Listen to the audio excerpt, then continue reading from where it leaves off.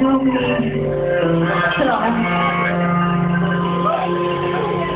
want to preface this song by saying that funerals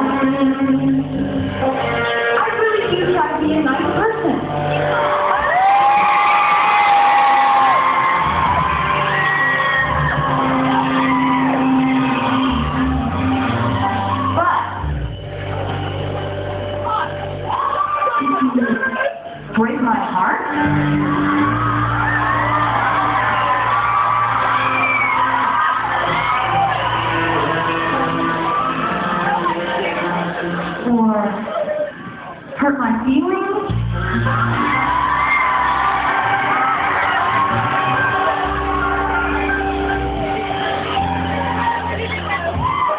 Or if you met with my friends in London.